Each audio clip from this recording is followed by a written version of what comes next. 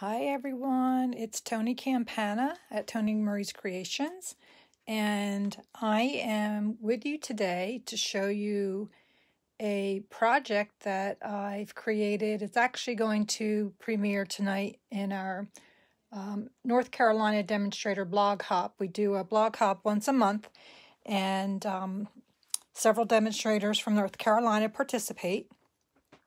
And this is what's going to be posted on my blog tonight at 8 o'clock. So you're going to get to see how I've actually made this project. And bear with me just a second. I want to show you the stamp set that I'm going to be using for this project. And the project is actually going to be using the Sand and Sea,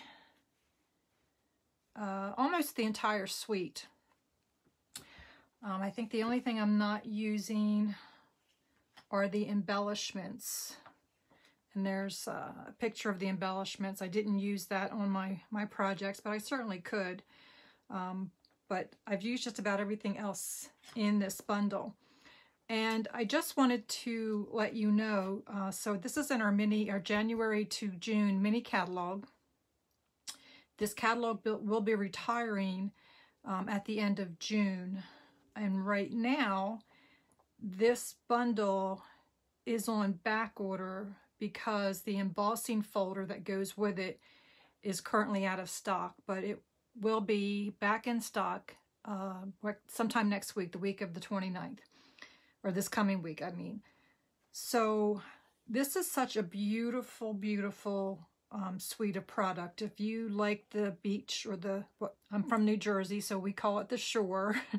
um, you're just going to fall in love with this set because the images are just amazing. The colors in the designer series paper are uh, just a lot of fun to work with. So let me move the book out of the way and show you what the projects are. And I just will say that the um, projects I'm going to show you, or the finished product, is going to be slightly different than what we make today because I'm just using different papers. But I created a diorama card. And a diorama card is one that stands up. It's got a little window so you can see it's kind of a, well, it is a 3D, not kind of a 3D. But I've used on this finished project a piece of this beautiful DSP that's got, I'm not quite, I think they might be sea urchins on the paper. And then the sentiment is on the back on a card like this. So I made the diorama card and I've made a coordinating gift box. And this is a nice size box. Um, it's an inch deep and the finished box is four inches,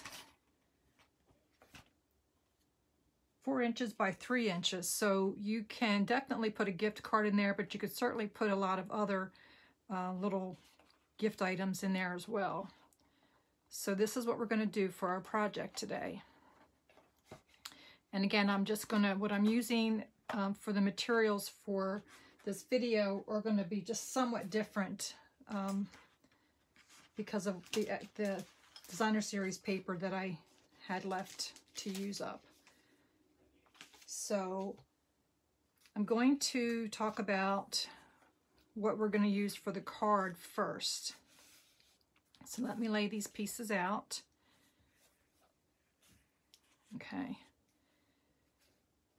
One of the uh, other beautiful pieces of this suite that we have is this pearlized paper. And I'm not sure if I'm going to really be able to get um, the effect or if you're going to be able to see how, just how pretty this is. But it's definitely a pearled look, very shiny on the paper.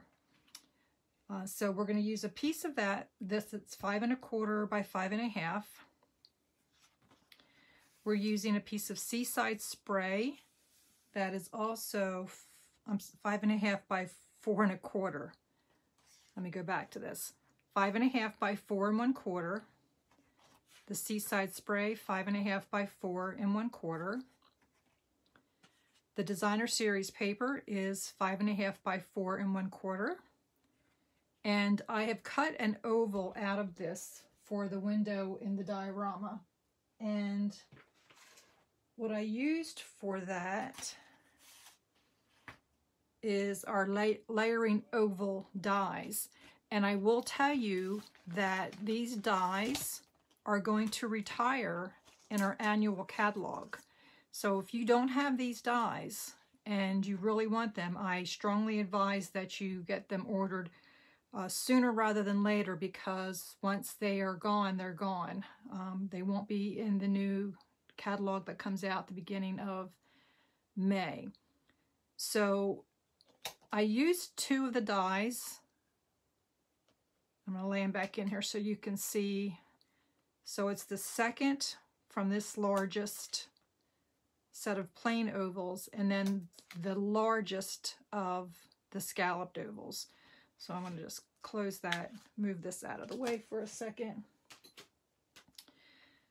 So I die cut my cardstock here and it left me with this piece of um, cutout, which we're not going to use in the project, but definitely set that aside because you can use that for something in the future.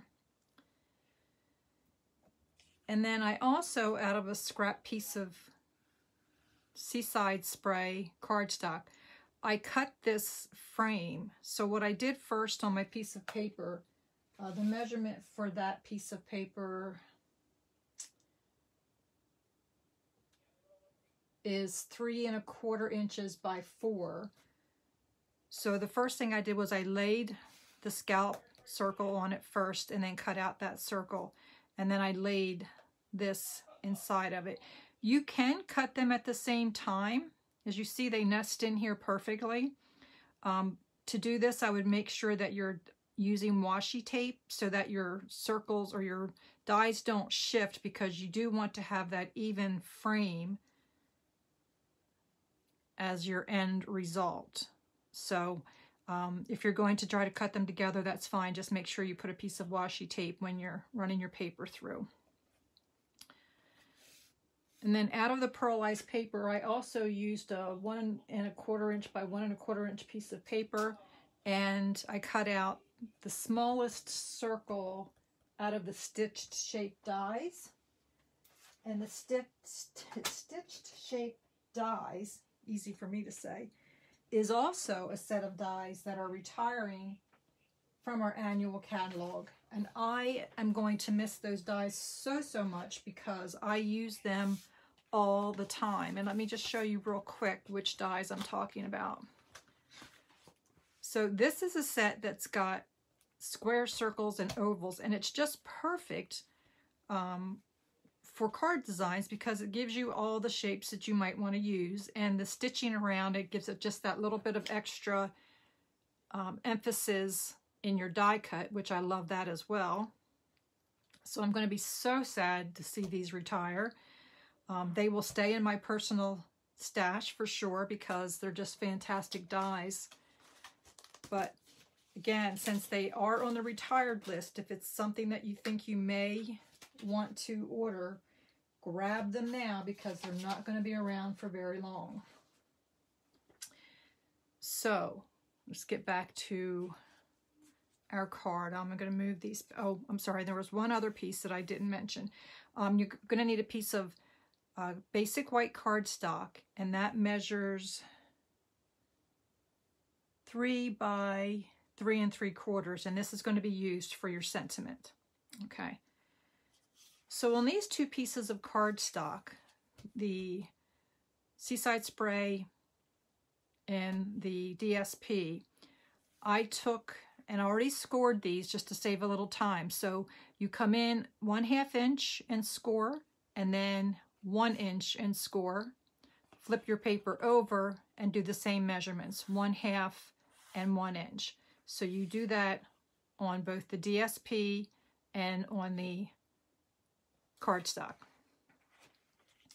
We're going to work with the card front first, and I want to attach my oval frame. Make sure I've got the correct side. And I like to use the mono adhesive liquid all-purpose glue for something like this. And a light touch is what you'll want. You don't want to glop this on here because if you do, uh, when you go to apply it, you're going to have all that extra glue come out from underneath your paper and you don't want that. So I'm going to lay that over here. Okay. And the liquid glue just gives you a minute or two for you to align everything, make sure it's exactly where it needs to go. Okay, and then I'm going to set that piece aside because I want to let that dry.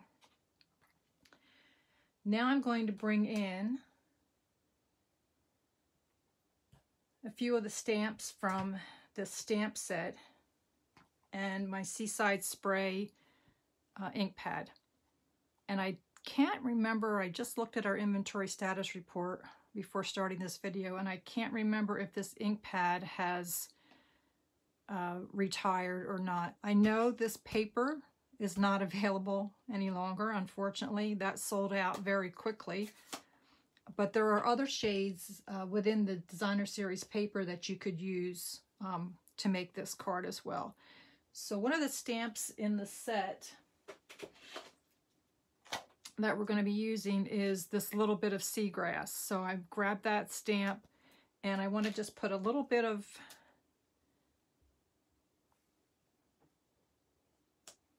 action here and I'm kind of moving it up and down the paper and I'm stamping it kind of full strength for the most part because the Seaside Spray is a really light ink.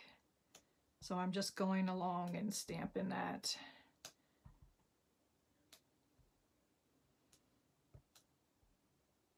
Okay. I'll set this. So actually, while I still have this open, I'm going to stamp my sentiment. We'll go ahead and get that stamping out of the way. So I love this sentiment. Um, friends are like seashells. You collect them along the way. And I think that's a perfect sentiment. It's great for a beachy themed card. So I'm going to stamp that in the center. And then I'm going to come and use the sand dollar. And I'm going to put that down in the corner a little bit. And we'll just go ahead and get our stamping out of the way so that we can move the ink pads. So I'm going to stamp on this pearlized circle that I'd shown you a little earlier. But because this paper is coated, it's shiny and coated, you're going to want to use StazOn ink. StazOn is a solvent ink, and it's not going to smear when you um, stamp it on this, this type of paper. If you were to try to use Memento um, or our classic ink pads, it's going to very easily smear when you're trying to stamp your sentiment. And we don't want that. So I'm going to stamp that and I'm going to set that aside because we're not going to put that on until I think the very end. Okay. So what I want to show you now is what I feel is the probably the showstopper for for me with this set. Um, we're going to take this piece of pearlized paper and in the stamp set, you get this very large die that has several different types of seashells and some seagrass and stuff um, in it. And I cut the paper five and a half by four and a quarter so it fits perfectly in this uh, for this die. And let me grab some of my samples here. So when you die cut this, it's going to come out looking like this. Oh, see, I forgot to pop out a little piece there. So it's going to come out, you're going to have this flat image of the seashells. I still didn't get that out. Okay. So you, you'll get this die cut.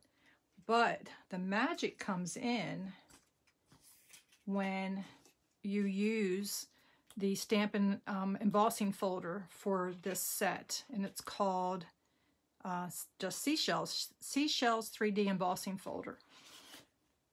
And this is what's currently on back order. And I'll see if you can kind of see the detail here. Um, but it puts all the impression in the seashell. So what you do is, and this is my recommendation, this is what I think works best, is to cut first and then emboss. Um, if you emboss your paper first and then run it through the die cutting and embossing machine, you're going to flatten out the detail that comes in when you emboss. And the neat thing about having the die cut is it fits perfectly inside the embossed image. So I'm holding the top of the embossing folder and I've just inserted this and just slid this around until all the images line up with the embossing folder. And then I run that through the die cut and embossing machine. And what you come out with is this amazing piece of artwork. And hopefully you can see all the detail that that embossing folder puts. It's just so beautiful. It just, and this piece alone can be mounted on a piece of um, designer series paper and then put in a pretty frame. It'd be a, a nice little accent piece if you've got a room that has um, beach decor or, you know, seashell decor, things like that. So absolutely beautiful just as it is. But what I'm going to do for this project is I'm going to take um, the completely embossed piece and I'm going to cut all those images out. And so that I can save time, this is what I come up with. So I went ahead and cut this out. So I focused first on the large pieces, this, the seashells themselves. And then what I had left were these various pieces of what I call seagrass. And we're going to use them all in our project. But what I wanted to show you, and hopefully I can get this detail in here. So when you, you look at the embossed image, you'll see there's actually a border all the way around the shells. So all you're really needing to do is come in here with a pair of small scissors and just cut around all those images. It's like it gives you a little pattern to follow. Um, so you're just going to snip these pieces apart and you will end up with all these individual little components to work with. Okay, so I know for my box, I want to use this large shell, this shell, and then I think it's this piece of seagrass. So I'm going to set those aside. And then I'm going to come back in and grab my card base. So this is going to be the focal point of the card. So let me bring the sample back in to show you. Okay. So you want that large shell to be in the center. So I just, initially I would just, I just kind of laid this over here to kind of figure out position-wise where I wanted that shell. And it's not going to fit entirely in the oval, but I want more of the top to show than the bottom. So I just use this to kind of line it up and see where my image needs to be. And I'm pretty close to the bottom here, so that lets me know where I need to place my dimensionals if I can find where the, oh, here they are, they got buried. Find where my dimensionals went. So I'm going to take, I just used three of the large dimensionals to hold this in place, which I think is sufficient because this isn't really going to get handled very much. so you won't need to worry about it coming off of your project. So again, I was you know closer down here to the bottom and in the center.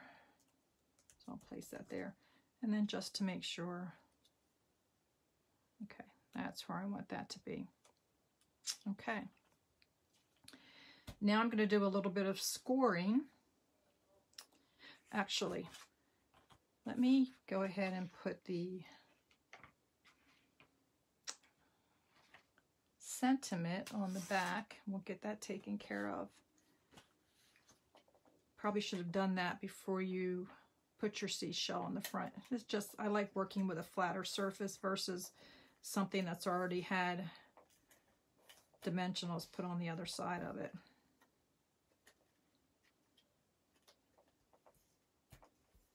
Yep, now my tape runner is going to act up on me. Apologize for that.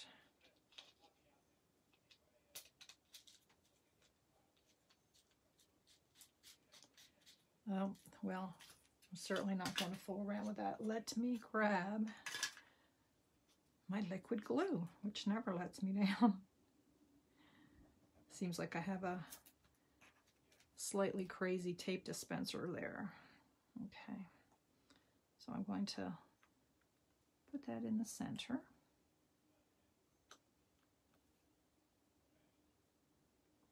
Okay.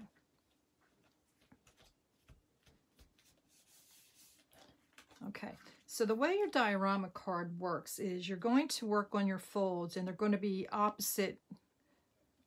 So if my front is going to be, I'm sorry, my base, I'm folding in at that, the one inch score mark on the one side. And then I'm going to go in the reverse direction for the half inch. So again, you're going to come in at that one inch score and you're going to burnish and then bring this piece out and burnish that, okay. And then on my front, I'm going to do the opposite. So where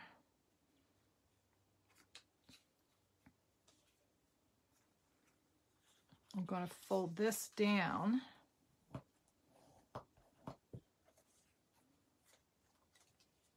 And then fold this in the opposite direction. Okay, so that goes down. And this goes in the opposite direction. because we want to be able to join these two pieces and have them create the little window for your card. Okay. Now you can attach this one either way, um, one of two ways. You can go ahead and just apply your adhesive while it's folded up like this if you feel like you have a pretty steady hand and you're comfortable with doing that. I like to just fold it flat again. I really prefer working with flat surfaces rather than trying to um, hold up, you know, hold it in the air and try to. So now I just have to worry about matching up these two sides. It's flat and then we can reshape the card once we get it together. So again, just a little bit of liquid adhesive.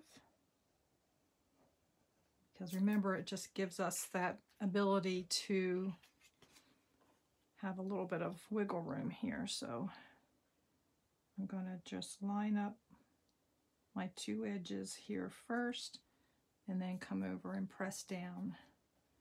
And if I need to slide or adjust, I have a couple of seconds to do that before this glue really sets up.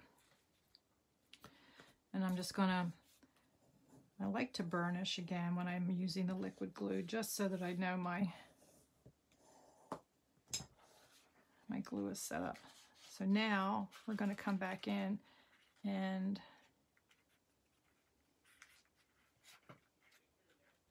there. So now we have our diorama card.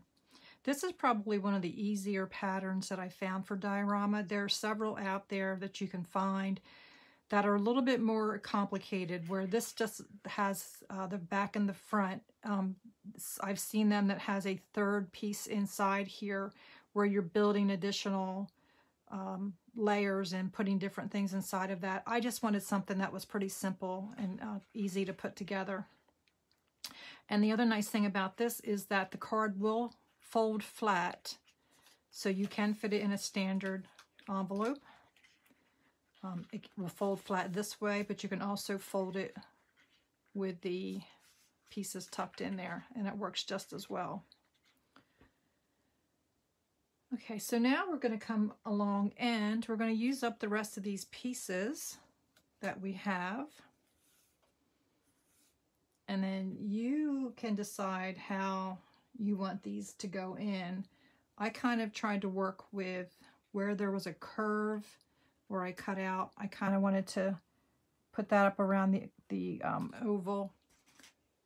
And this is where you're going to come in and do any, any fine tuning that you might need to do and it's also important to make sure that you've got your embossing going the right way. So I'm just going to sort of lay this here. I'm not sure I want to use that one. I think I might go with that.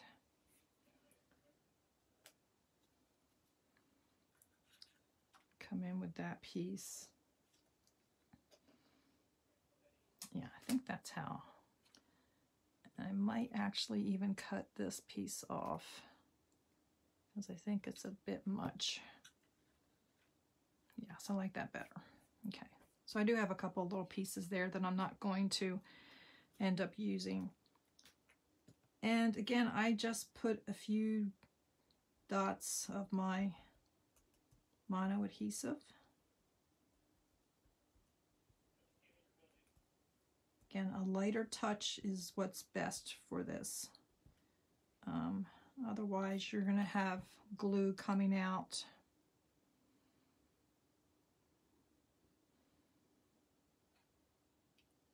underneath your image. And then just reach in there and kind of press that down. Come in. Got a little bit of a bigger border here with this piece of seagrass. So I'm going to put a bit of glue there to kind of stabilize it.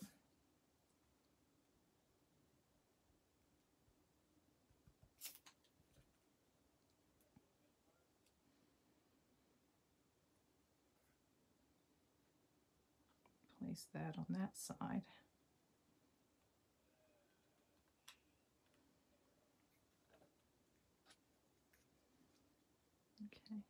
And I think I'm going to put dimensionals on these shells.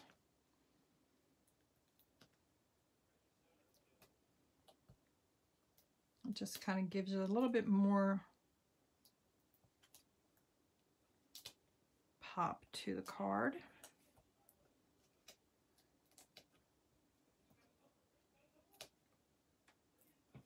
Okay. Let me peel off my backing here. I end up having these all over me when I'm done and they follow me all through the house. I find them in the strangest places.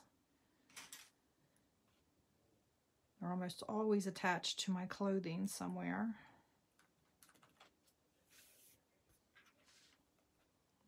Move some things out of the, I clean up my workspace a little bit. Put this last I can't get that backing off. Put that over there. Now you can certainly build the front of your card before you attach everything, the front to the back. You can go ahead and put all that, those little pieces of shell and seagrass on that ahead of time if you wanted to. It's entirely up to you. But it just worked better for me the way that I did it. Okay, and the last thing I'm going to do is I'm going to put this sentiment And you can kind of tilt it there if you'd like, but you're really only going to need to put dimensionals um, near the top. And I wanted to make sure that I didn't obscure the seashell very much. So it really pretty much goes up in that top corner when you place it on the card. And I just rather be safe than sorry. I'm going to put three mini dimensionals on that.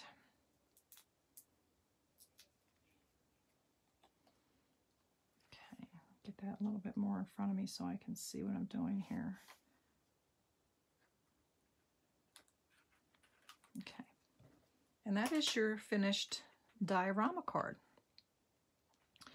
So again, this is a nice little um, decor piece too. It can stand up on a mantle, on a table. Um, I just think it just is a sweet little card and, and it's perfect for friends who or family who love the beach. Okay, so that's our card. And then next we're going to move on to our gift box. And I love making gift packaging. It is really one of my favorite things to do. Oh, let me just show you so the difference um, just by changing out the designer series paper, um, how different the cards end up looking. And I initially did this, did my project in this paper because I thought it looked like waves, but I really have started to like it more with the pattern on it, I think.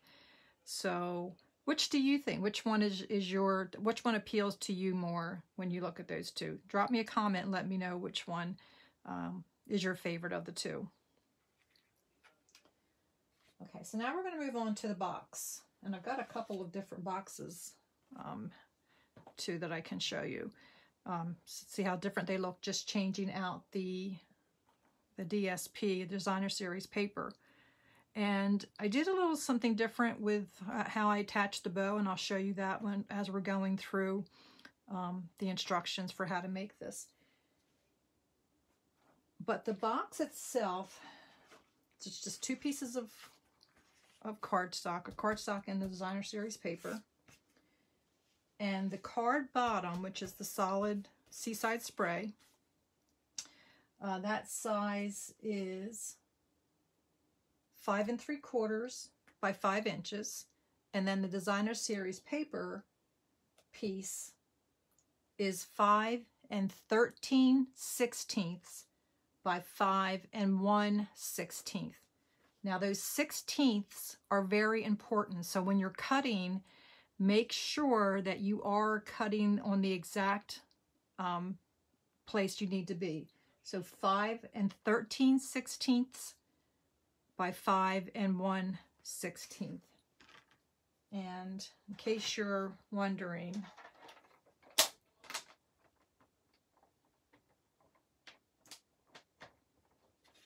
when you're looking at a ruler, so where my finger is right here, it's the two inch mark. The very next little notch is the 16th mark. Okay, so for this paper, this end is the 5 by 13 sixteenths and this side is the 5 by 1 16th. So that one little notch is so important for making this box work properly.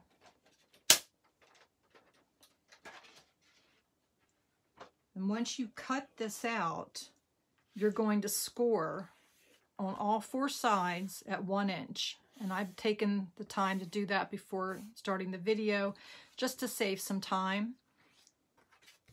So now you've got these two pieces and we're going to work on the box assembly. And as, as I said, it goes together so, so quickly.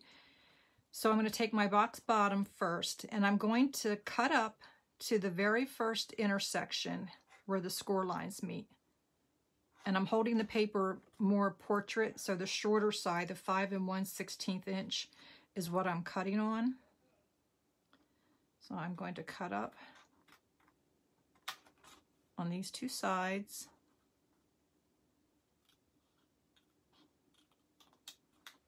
And then I'm going to just snip a little piece of paper off of these two tabs and it just makes it easier when you're putting your box together. It removes some of the bulk when you're trying to glue the edges together. Okay, so you're going to turn that. The cut pieces are at the top now, and you're going to do the same exact thing.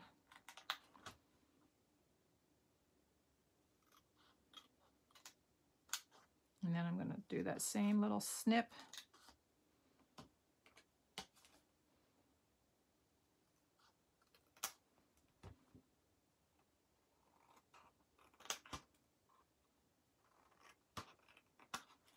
Okay, leave that out. And when you're working with designer series paper, if you have a really busy pattern, sometimes it works a little bit easier if you flip it over so you can visually see your score lines a little better, which is what I'm going to do here. And actually, that score line's a little bit late, so I'm, I'll need a little bit of help there. Again, this is the shorter side of the box.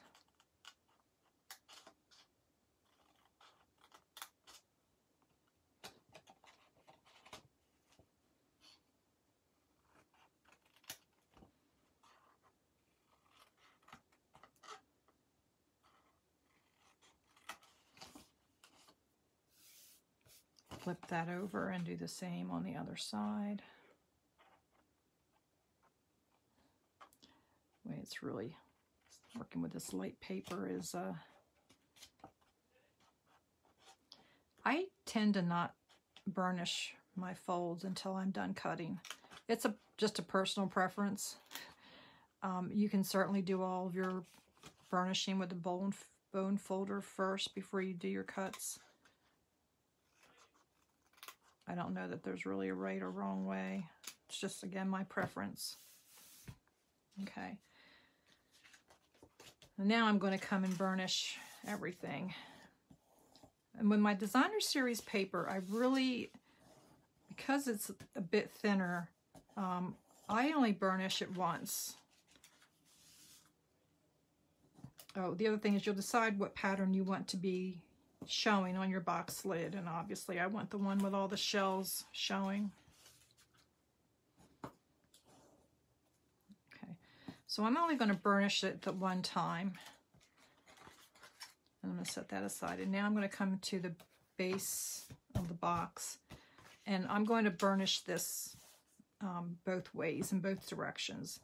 And it's just because the cardstock is quite a bit thicker and I want to really break down the paper fibers. That's basically what you're doing. Well, not basically. That's what you're doing when you're burnishing, is you're breaking down the fibers so that the paper will crease easier for you. So I'm going to flip it and just do the same, same thing.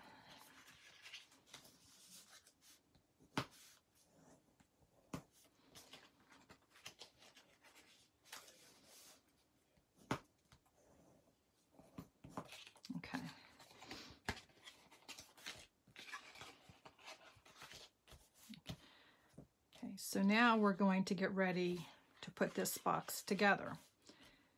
So you're going to take your two flaps and you're going to fold them in. And this is where you're going to apply your adhesive. So when you're working with a 3D object, something that's going to be handled a lot, and a box would be, so you're taking the lid off and putting the lid back on, you want to use something more substantial than just your basic uh, double-sided adhesive. You want to either use um, multi-purpose glue or you want to use tear tape. And again, I'm um, more inclined to work with the liquid mono adhesive because it just gives me a little more time to slide things into place. If I'm using the tear tape and I just happen to not line it up properly, then I've got to peel it apart and try to uh, nudge it back into place. So the other critical thing about working with the boxes is that you really need to make sure that when you're lining these up, that you are lining exactly edge to edge. You want that to be a very precise meeting of the corners. You don't want anything to overlap. You don't want to slide it a little bit one way and have some hanging over thinking, oh, I'll just trim that off. That is going to affect how your box lid fits. So if it's not really true and a nice, nice square joining, you're going to have some problems. And I'm telling you this from lots of experience of trying to make boxes or 3D items and they just just didn't work. They either the I couldn't get the lid on it or I had to crush it to get the lid on it and I found it's because I wasn't being very precise when I was joining the sides together. So it's really, really, really important that you do that. So again, I'm just going to slide this over. And that liquid adhesive lets me have a little bit of play to slide it in place. And then I'll come over and do this on this side. Okay. And another way of doing it is you can just kind of lay it down on your work surface and just make sure that it's it's joining up really sharply there. And I just come in and press on the insides. Make sure they're sticking. Okay, so that's our box bottom. And our box top, we're going to assemble it the exact same way, but what I wanted to point out to you is that you'll notice on the sides of the box, I cut out just small sections to give yourself something to hold on to when you're pulling the box apart.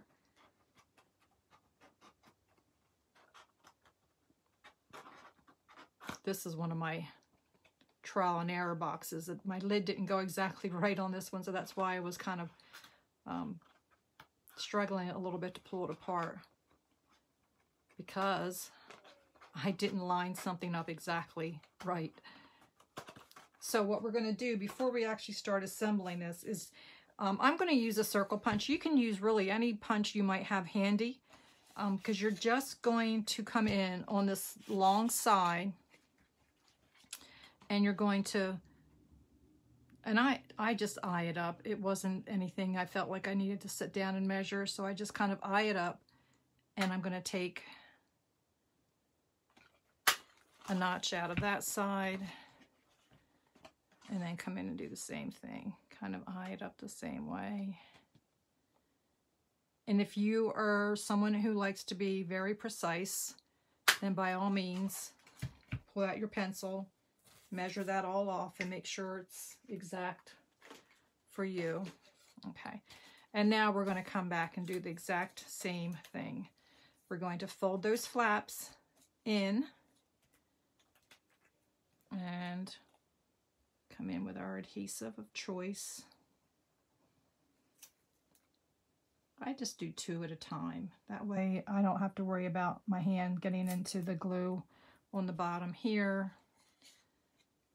sticking it all over to me. And I'm going to, again, come and make sure that I am very tight against that edge.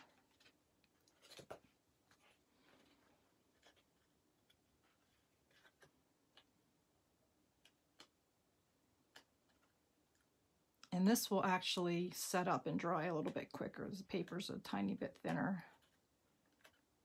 Okay, and then come back and apply, apply my glue to these last two flaps.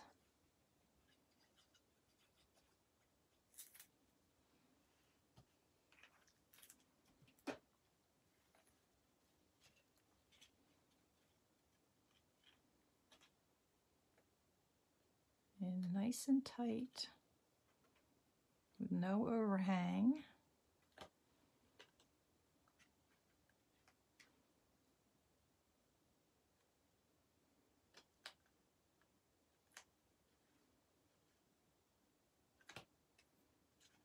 Okay, that should be good. Now here comes the real test. And we're doing this live, so I sure hope it works.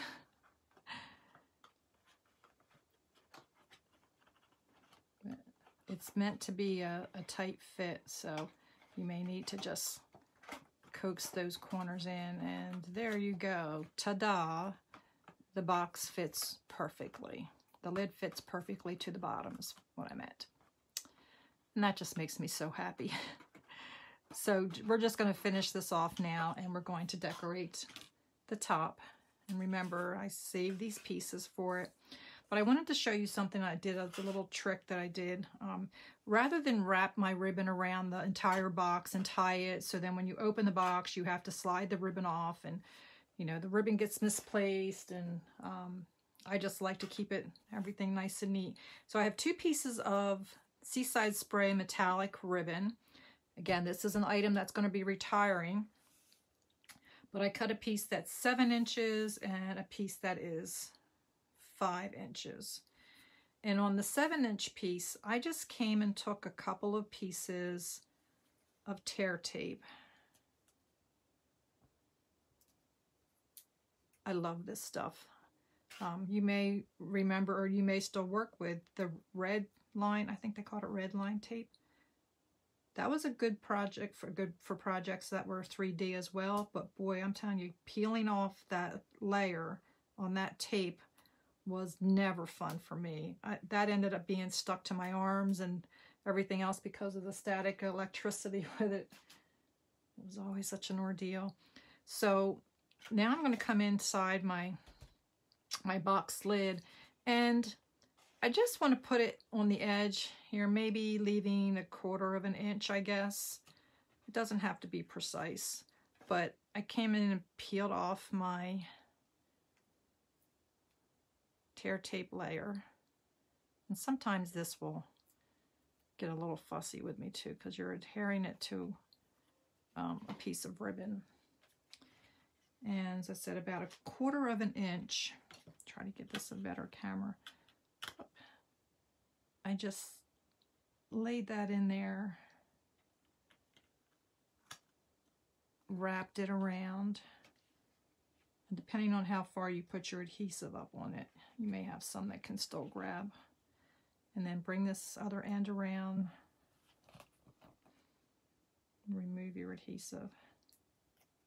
Oh, that one worked a little bit better. I just make sure that it's kind of snug on the outside there. And come around and lay that on the inside. So like I say, the seven inch piece works perfectly for wrapping it around the outside of this box and leaving you enough room on the inside.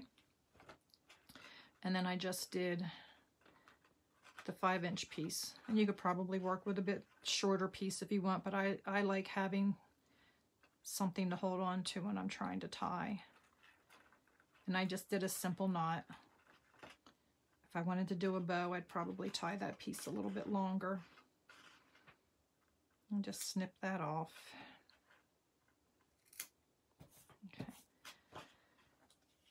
And now I can come in and finish off with my my pieces here.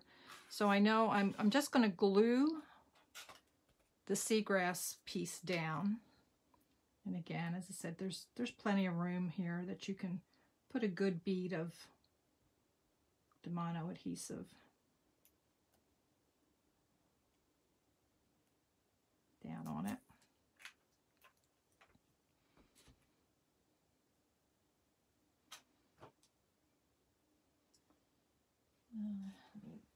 Use my other box just as my guide to see how I did that.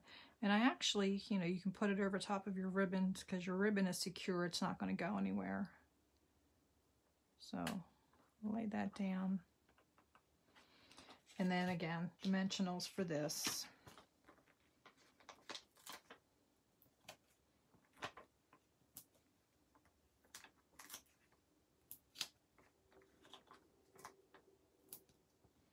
Get a little generous when it comes to my dimensionals. I'll just go ahead and finish this piece while I'm at it.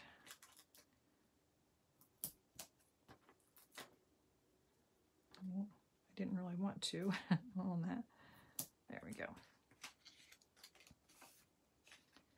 So this would be a perfect little box and card again to give someone birthdays coming up or uh,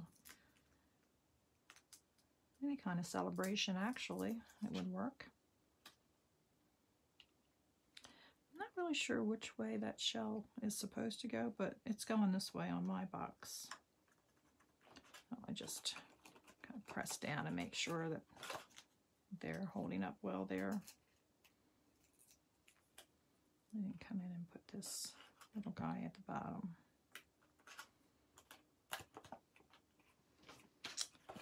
And there you have it. And by adding that little bit of um, ribbon, it really doesn't hamper the, um, the box lid going on. I say as I'm trying to get the box lid on. It really doesn't. I've done about seven of these now, so I do know what I'm talking about with that. Okay, there you go. So there's your finished box. And what did I do with my card? Oh, here it is. There's the finished card of our sand, sand, sand suite. Um, love it, love it, love it. It's a, a perfect set for the beach lover in your life. And as I said, it's um this set will be retire. Well, no, I'm sorry. The colors that we used are definitely retiring, and the designer series paper is retiring when the mini catalog um, leaves us in June. But the stamp set and the dies and the embossing folder are going to carry over to our new 2021-2022 annual catalog. So I'm so happy to see that it's going to continue being available to use for projects because I know there's going to be other things I'm going to enjoy working with for this. So I hope you enjoyed the projects. I strongly encourage you, um, if you are interested in um, buying this set, um, do it now while you get the 10% discount off because when it does move over to the new catalog, it will be separated. You will no, no longer be able to get the bundle and save yourself 10% on purchasing that bundle. So again, you can shop at Toni Mari's Creations at Stampin'Up.net to purchase these beautiful, beautiful products and hopefully um, create your own projects, beautiful projects with that once you have it in your hands. So thank you for joining me. I hope you enjoyed the projects. Um, if you have any questions, please drop them um, under the video and I will be sure to get back and answer them as quickly as I can. Thanks again for watching. See you soon.